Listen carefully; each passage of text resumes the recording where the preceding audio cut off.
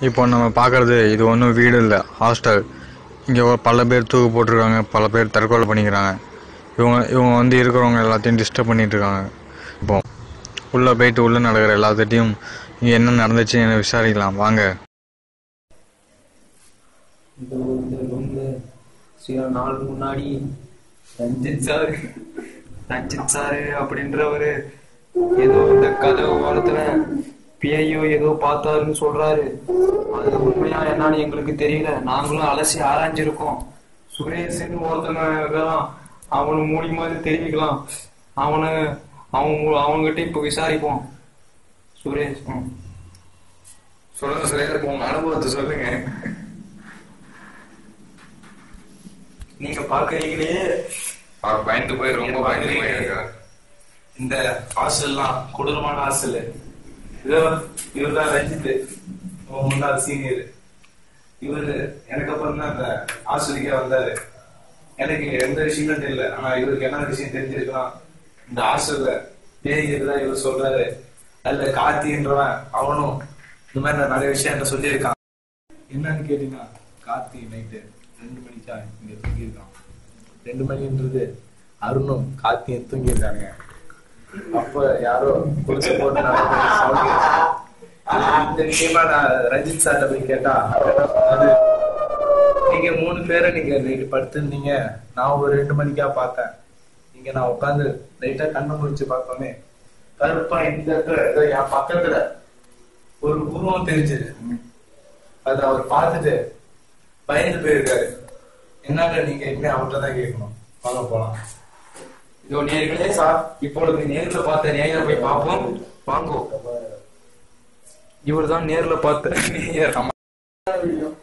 இதுதான் நம்மளுடன் பேட்டி கொடுத்திருந்த ரசித் சார் பேயை பார்த்த அதிர்ச்சியில் மயக்கம் போட்டு விழுந்து விட்டார்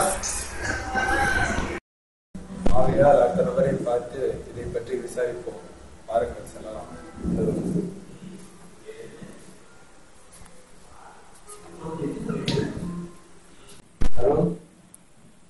பேய் பார்த்த அனுபவம் சொல்லுங்க பார்ப்போம்.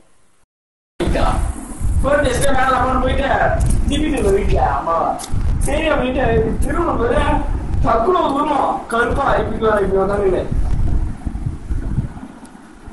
இப்படி இருந்துச்சு. சரி என்ன ஒண்ணு இருக்கு பார்த்தா திரும்பி போயிட்டு போயிட்டு வர மாதிரி இருந்துச்சா அப்படியே நான் ஆ சொல்ல.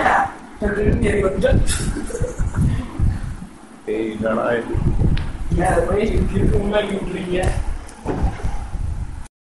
ஆகவே நேயர்களே அருண் வந்து பேய் பார்த்த அனுபவத்தை என்கிட்ட வந்து சொன்னான்.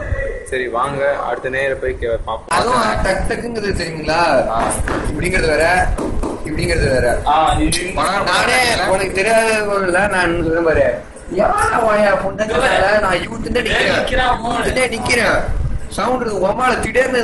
யாருமே இல்ல. அப்புறம் தான் எனக்கே ஒரு கொஞ்சம் நானே எனக்கு கொஞ்சம் ஜர்க் ஆயிட்டேன். அப்புறம் தான் இது நல்லா யோசிச்சு பாக்குறப்ப தான் ஒரு ஒரு இது கிளியரன்ஸ் கிடைக்குது. பாத்துட்டீங்கன்னா என்னைக்கு இல்லாம இப்பெல்லாம் நாய் ஊழ விடுது திடீர்னு. என்னன்னு தெரியல. நைட் ஆனா கொலுசு சவுண்டா கேக்குது. அப்புறம் ஏதோ உருவம் கண்ணு முன்னால் நிக்கிற மாதிரி தெரியுது. ஆனா பார்த்தா நிக்கல. அப்புறம் இது வந்து பயம் வருது. அப்புறம் பார்த்தா தனிமையா போக்குள்ள யாரும் என்னை கூப்பிடுற மாதிரியும் நான் அவங்கள பாக்குற மாதிரியும் தோணுது. ஆனா பார்த்தா எனக்கு யாரும் இல்லை. இப்பெல்லாம் கதவு முடி வச்சிருந்தா யாரோ கதவு தட்டுறாங்க. திறந்து பார்த்தா ஆள் இல்லை. அதனால எங்களுக்கு ஒரு பயம் ஏற்படுது. இந்த மாதிரியான செயல் வந்து தொடர்ந்து நடைபெறதுனால எங்களுக்கு ஒரு அச்சம் ஏற்பட்டு இருக்கு. மக்களே இது வரைக்கும் நீங்கள் இந்த விடுதியில் சேகரித்த நாங்கள் சேகரித்த செய்திகள்லாம் கேட்டிருப்பீங்க. இந்த விடுதியில் பேய் இருப்பது இந்த வீடியோவின் மூலம் நிறுவனமாகிறது.